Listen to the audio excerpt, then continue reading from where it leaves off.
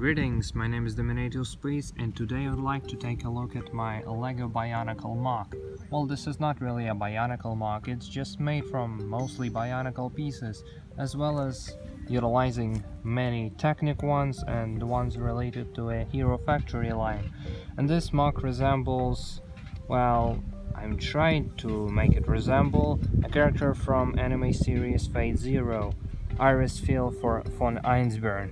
This character character is female and this is why I had to make some compromises to my usual building style in order to capture most of the organic uh, nature of the Irisviel herself since she is a human and I need to uh, show that human nature in the biomechanical world of fictional Lego Bionicle and Hero Factory. So this is how my MOC came out to be. Before we begin looking at this figure, I'd like to stress out that I spent a lot of hours trying to figure out the proportions and pieces to utilize in order to make Iris Irisviel work in the biomechanical universe of LEGO. And so, yeah, I hope you will enjoy this creation and I'm looking forward to seeing what you all guys can create. First of all, I'd like to show an accessory, actually the only accessory Iris Irisviel comes with. It's her like blaster or gun, whatever you want to call it. Uh, it wasn't in, in an original story, I just created it for her to give some firearms, just like Emiya Kiritsugu, you can imagine him giving her some weapons other than Avalon to save her life, or like this all that she could produce out of nowhere, whatever.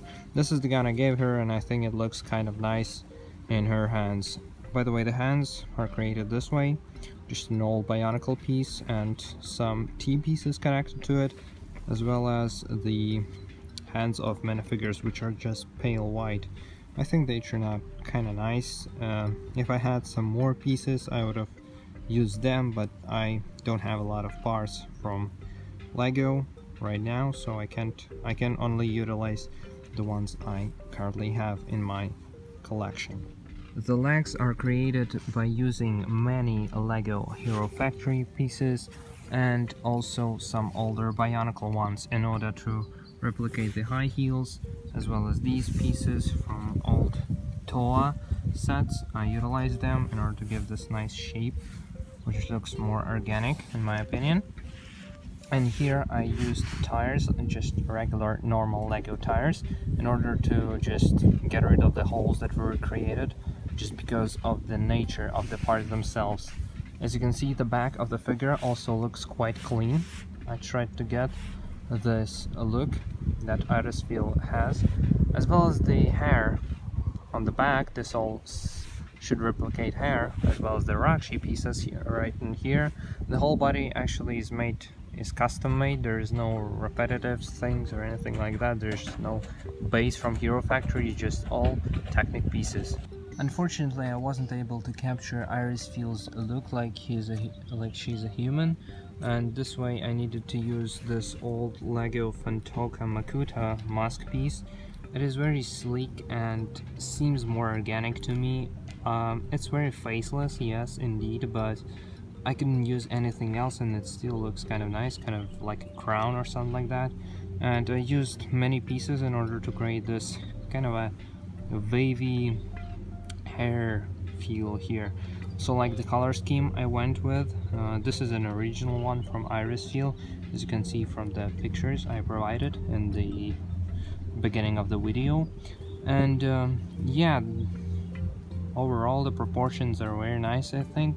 You can write down in the comment section what you think about the proportions and the color scheme. I think it looks kind of nice and I captured her look quite well.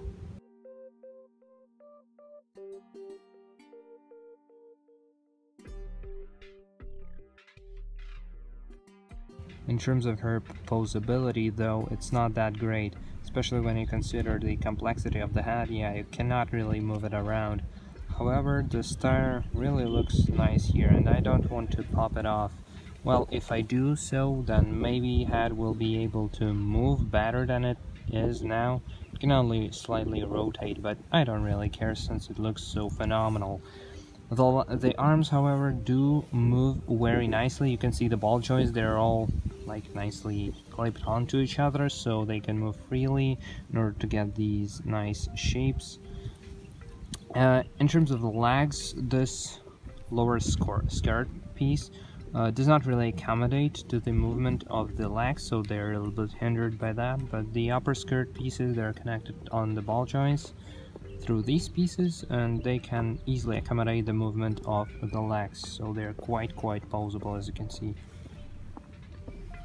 Overall, I think this is it about my new MOC from LEGO Bionicle Pieces Irisviel von Einzbern. If you like this MOC, be sure to leave a like and add a comment.